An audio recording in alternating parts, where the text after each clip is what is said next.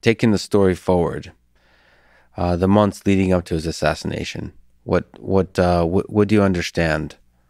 Why he was assassinated? What, who were the players involved? Maybe could you have stopped it? Well, I tell you, after I saw Reagan's face on the television saying we have the absolute proof, the phone rang and it was Barry. I hadn't heard from him in a couple of years. He said, I'm coming out tonight, Roger.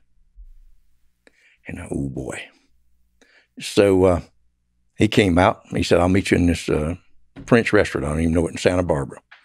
And I walked in, there's about 20 or 30 people in there. And they was all 30, 40 years old. Women with plastic or leather skirts and me in the blue jeans. And I looked around and Barry was at the back. He was leaned up and he'd gained weight. And I walked up and I said, Barry, you wired? He said, no. I said, well, I'm not going to talk. Are these DE agents? He said, every one of them. so uh, with jeans and skirts, I like it. oh, so I said, "Well, Barry, I'm gonna sit you, and you just talk to me, buddy, and tell me what's on your mind."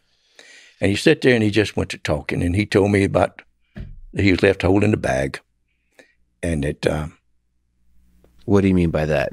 Like uh, that nobody's supported him. Well, no, I nobody think helped him out. Another, he was. Um, and and I don't know this. I mean, this is just what yeah. what happened. Uh, putting it all together, that he had some CIA buddies that was pretending we going to supply Oliver North with arms, and with that, you can land cocaine back here by the ton. So he's taking his little planes and putting some AK 47s and maybe ammunition or whatever, and takes it down to the Contras uh, against the Communist Party of Nicaragua, where we've been landing and Oliver North was involved in this. So uh, when the when all that and so his CIA buddies was certainly involved. We know they were. And Barry had been in the CIA earlier when he first got out of school. So uh, when when um, as I say, the shit hit the fan, they all fled and left Barry holding the bag. The CIA and the DEA. Yeah. No, not the DEA, the CIA. The DEA wasn't in on it. The CIA was was selling that cocaine, bringing it in. And uh, just to clarify, uh, what's Iran Contra scandal? What was the alleged involvement of the CIA in uh, in using drug trade to fund things? What do you know? What do you think is true? What should we know? Well, I know what I knew was true that Barry was taking a small amount of arms back to Central America and giving them to whoever Oliver North group group were. Who's Oliver, Oliver North? North was a colonel that got implemented and almost brought the government down. And so they said, "All right, we're getting the guns from Iran, and we're taking cocaine to pay for them. Yeah. And since Congress won't give us money to fight this war, we're gonna we're going to circumvent it." So that was that was a whole thing. So it was uh, CIA's effort to circumvent the funding mechanisms of government by selling drugs. Yes, but it was a handful of renegade CIA agents that was Barry's friends that was making a load, load of money. Tons of it come up. If you would like to read the book, the the big white lie, the CIA and the crack cocaine epidemic, the CIA put, according to this, uh, uh, the book in Michael Levine. I, I, didn't remember his name last time I talked. Uh, wrote that book, and he was a, a, head CIA agent. Uh, he was a head DEA agent that exposed this, and the CIA tried to kill him. And he says they put crack cocaine. They developed their their chemists developed crack, and they put it in every country, every city in the United States on one weekend. So uh, they were bringing it up by the tons, and that's for sure. And Barry yeah. was bringing it. Can I ask you a small tangent question? Do you think the public should trust the CIA and the DEA? Do you think they're mostly good people that are carrying out a good mission? Yes. Because this kind of makes it sound like there's renegade agents that are just doing whatever the hell they want and w- with uh, sometimes no regard for human life. Well, that's certainly true but that's not everybody in there. That's just sometimes you get a few policemen in, in the department that, that do these things. Yeah. I, I, don't believe. I believe that our government is is good. I think we got some fools running it. Yeah. I don't know how we get them there, but uh, I don't well, think I know. Okay, so what what was Barry's involvement here? And so Barry did, uh, Barry leaned back in that chair and he told me that you know he uh, he got caught with one and a half tons and he bellied it in uh, the runway in Nicaragua and uh, had cameras flashing inside and out. And then he flew it back to Homestead with with an agent there, and he brought the agent over, um, Jake Jacobsen, really nice fellow. I think he was a crop duster, and we'd have got along. If we'd have been on the right side, and uh, so we uh, we sat there and drank Chivas Regal until I got pie eyed, and and uh, Barry told me about it. He said that he went to see Edwin Meese. He flew. His, he got out on bail and he flew his Learjet up to Washington and went in to see the Attorney General, Edwin Meese. And they run him out of the office. The next day he went back and said, I have absolute proof that the CIA is bringing tons of cocaine, or they're running tons of cocaine into the United States. And Edwin Meese put him up with this agent, Jacobsen, I believe it was. And they went down and got one and a half tons. And on the way back, they bellied it in, and Pablo Escobar and some of the other ones on General there in Nicaragua. You can see them toting it from one plane to the other. It's in the book called The Big, no, uh, Kings of Cocaine. Hmm. It's got a mention of me too, and also the other one has a mention of me in it. Said I'm in more files for the DEA than Noriega. so who was wanted to get rid of Barry? Is it is it the who wanted to get rid of Barry more, the cartels or the CIA? The cartel. But uh, so Barry leaned back and he and he, he told me the story, and the tears came down between his fingers as he put his hands over his eyes, and he said, "I I, I just couldn't do it, Roger. I just couldn't do three life sentences." So I've told him everything. I went to Congress and I've testified before Congress, and he testified before Congress for all these things that he'd done, and he said, "I told him all about you, but you're under my umbrella. You got to testify with me before a grand jury in Miami." And so the guy said, You can come down. The DE agent said, You can come down tomorrow with Maury, first class, or I'll take you down in chains. And if you don't testify with Barry, the only place you'll ever see your wife and family again is in a federal prison visiting room.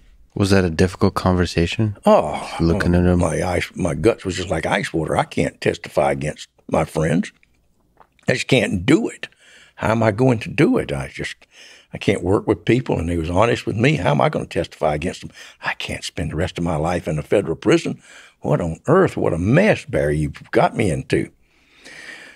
So, uh, is that a kind of betrayal there?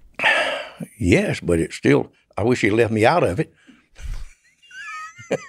I understand him getting his in such a mess that he told because if the CIA and whoever else was behind him betrayed him, yeah. then he's going to tell everything. If you, so I says, all right, I'll be to Miami. So Maury and I flew down first class, and I and I went to a lawyer, one of the biggest lawyers in Miami, and I said, man, I am in a mess. Mm-hmm. This fellow's told everything, and I've got to say something, but I'm not a snitch, man. I mean, I can you have what what can I do? And he said, well, being a snitch is like being pregnant. You either are or you're not. Uh, and he says, I, I don't represent snitches, but if you want to fight this case, I'll do it for $600,000. And I, boy, my face turned red. Well, I'm not a snitch. He said, Well, that's what you're talking about. He said, Let me tell you something. If you go in there and say one thing and sign that paper and you don't tell them everything you know, yeah. then they will convict you of everything you've ever done. And you tell them. So you can't do it. So uh, I said, Barry, I, am having trouble with a lawyer. Give it, I'll go tomorrow. Let's go. So, all right, use my lawyer. And he gave me his card, the lawyer's card. So Maury and I went to the, the festival restaurant that night, and Barry and Debbie came in. She was dressed pretty, and Barry was, and so we was already about finished. So we had dessert together. And I said, Barry, they're going to kill you, friend. He said, No, they ain't going to kill me. So and so, such and such is gone, and this and the other. I said, Barry, they're going to kill you, man. Ain't no, you can't deny it. And, uh, and I said, I didn't tell him I wasn't going to testify, so I, I hugged his neck. I really like, and we fled to Brazil. I took Mari and the children went to Brazil. So you decided there you're not going to. I knew, and no, I wasn't going to. I, I didn't know what I could do. I talked to a lawyer. I mean, I just didn't. I didn't know what what I could do. But the best in Miami said what he told me, yeah. so I had to go. And, and you so went to Brazil. We went to Brazil. Did you have a conversation with anybody at the cartel? Just, I mean, that's such an interesting moment that tests a man's character to not snitch. And did you have a conversation with anybody? No. Pablo with No. about it, like Not at all. so it's just understood. I just didn't couldn't do it. But how many men like you are there? Not many. I had all my friends testified against me. I had 11 friends, and every one of them put their finger up. Roger did it. And I was facing life, continuing criminal enterprise. Carried Still, you couldn't do it. I just couldn't do it. Did you ever get respect from the cartels for that? From the from oh, the people in the the cartel? whole time I got back and stuff. They owe me money, and I can't get it. so, Well, that's about money. I just mean about human beings. oh, I think so. I mean, I've been back down there, and I've been welcome. I, I have my uh, my contact, and uh, when I was in Brazil, I was trying to get this money. They owed me three and a half million dollars. So I called up there, and he was going to pay me. Oh, I got six hundred thousand today, and I'll get you some more tomorrow. And then the next week, I called. Hey, hey, got great news! Great news! Barry Seal's been killed. So, oh no! And I went back to the hotel. We was up in um, northern part of Brazil, and where was it, Marty? Uh, yeah. And uh, so I went back and I told Mari and Miriam, and uh, and they cried, and I cried. I really cried. How how is that great news from the cartel perspective? Oh, well, now there's no case against me and him and them. Do you know who killed him? Yes, I'll tell you about that story. On the first load I did, I landed in a at a banana plantation, and it was raining, and it was a muddy strip, clay, and they put the, the 300 kilos of cocaine in there. And the ugliest man you can imagine, named Ronaldo, got in there with a Mac 10, and uh, he was making sure I took it to Louisiana. So This is many years before. yeah, a couple of years before. So anyway, he uh, uh, we took off, and the mud got up in the wheel well, so so thick until the wheels wouldn't come up. Well, I'm going 200 miles an hour instead of 300 miles an hour with wheels coming down. Well, I can't go back there. If I do, I'm going to be in the same situation until the sun dries it out in a few days. And so, but in Belize, I had a, a runway that had been used for $10,000 used to refuel. So I told the guy, listen, we got to land in Belize to refuel. And no, no, no, he put the Mac 10 and, and I, I'll shoot you. I said, Go ahead, fool, you're going to die too. So Yeah. I was in a turf. So It- I, he wasn't just ugly, he was also he was angry. a bad, bad killer. Yeah. And so uh, he's the one that actually killed Barry, the one that w- went up on the first load with me. And uh, Ronaldo, and he's in doing So he, life. in, he's just a killer. yeah, he's doing life in Louisiana. I wonder who uh, is is it known who made that decision? Uh, the younger uh, Ochoa brother, I understand, Fabio, was the one paid for the hit. I don't know that, but that's what I've heard, and it probably sounds about right. He's he's down in Jesup, Georgia, doing a long, long time. I think he's about to get out. He's been in thirty years or whatever.